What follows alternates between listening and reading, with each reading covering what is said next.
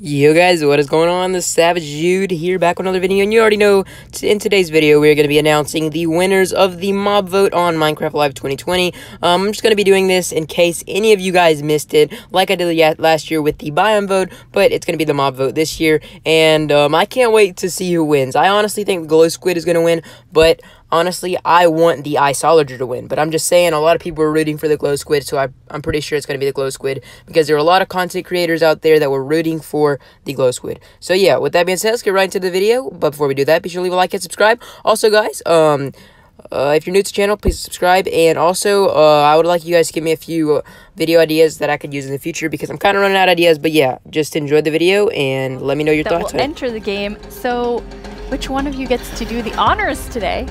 So I think Tiny Agnes has been a bit mean this year, so I think you should open it, Neil. You should announce the winner. Yes.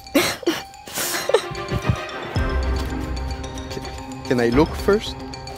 Yeah. You, you're gonna know before everyone else. it's the glow squid! wow. I guess everyone was mesmerized by the glow squid, yeah. not just the tiny ones. No, I... wow.